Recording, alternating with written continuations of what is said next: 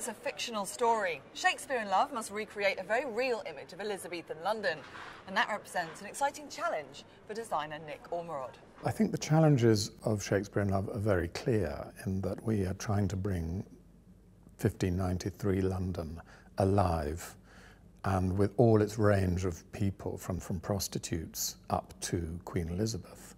And that's, that is a challenge. Our approach to playing Shakespeare has tended to be from the springing off point of making it accessible to a modern audience and playing it in modern dress. In this case, um, we're playing it in period costume and as accurate as we can, given, give or take a few liberties.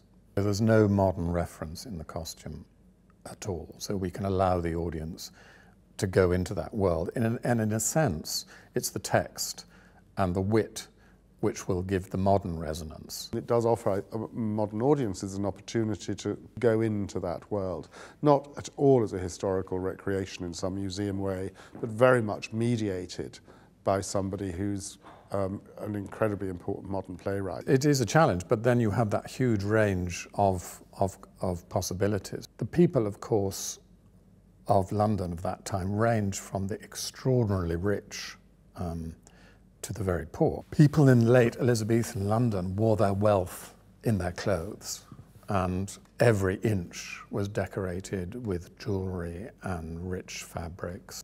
And the clothes were the most valuable part of their possessions, if you like. What we have to do is we have to do things like Nick with the set. He's got to articulate a space in which we have the court, we have um, backstage at the theatre, and we've got front of house at the theatre, we've got the auditorium of the theatre, and all of those things are very, very difficult to do, to do elegantly, simply, and without having long darknesses between scene changes, so that we can have that fluidity, which is the essence of Shakespeare's plays. We're privileged in that we know a little bit about what the theatre was like, and we have very good recreations of the Globe Theatre, and that's that is the springing board for um, our concept for Shakespeare in Love.